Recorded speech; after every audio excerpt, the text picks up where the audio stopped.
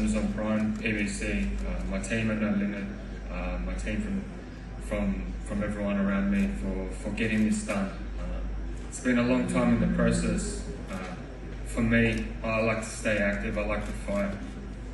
And uh, as soon as my fight finished with Mendoza, I was bugging. I was like, I need the next one. I need the next one. And it was months and months in the making.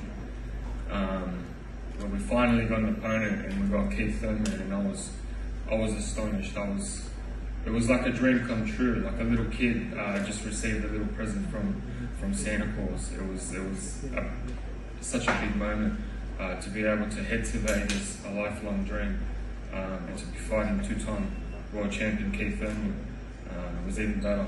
Um, I know what he is. I know what he's done, but I think that the time has come for him and uh, he's done what he's done. But now it's now it's going to be a different era. This is the Tim the Tim Tszyu era, and uh, I'm planning on not just to to just beat Keith Thurman, but I'm planning to make it such a spectacle that, that he's never seen before.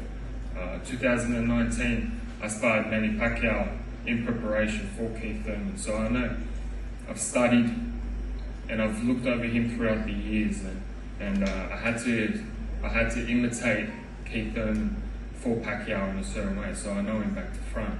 Um, but yeah, this fight, I'm an I'm an old, school throwback fighter, and that's what I plan to bring to this American audience, to the American stage. Is I want to stay active. I want the big names. Like once I'm done with Thurman, I want Spence, Crawford. I want I want all those names, and and this is the start of something special.